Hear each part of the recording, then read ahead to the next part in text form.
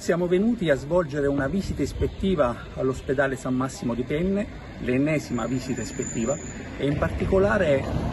siamo venuti a controllare due reparti che sono stati per ragioni diverse oggetto di manutenzione,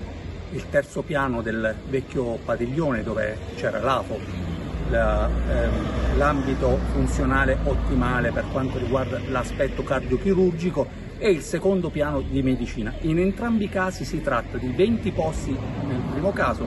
e 20 posti nel secondo caso, quindi 40 posti letto che per varie ragioni sono state oggetto di manutenzione, che sono pronte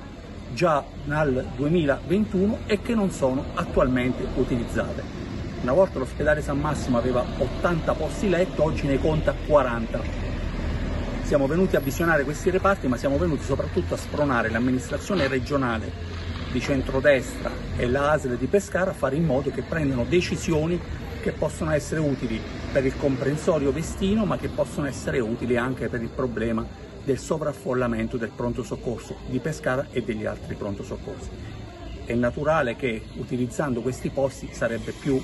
eh, facilmente affrontabile questa situazione, serve personale perché serve personale sia infermieristico che medico, ma diciamo, il nostro appello è quello di fare in modo che a distanza di un anno, un anno e mezzo adesso si prenda veramente una decisione perché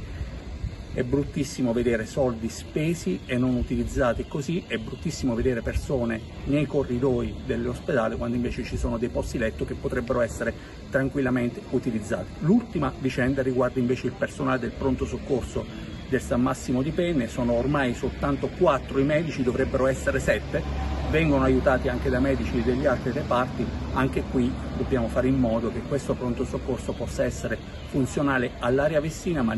all'intero comprensorio pescarese, soprattutto nell'ottica di mettere in funzione la centrale unica di smistamento del 118 che potrebbe portare naturalmente persone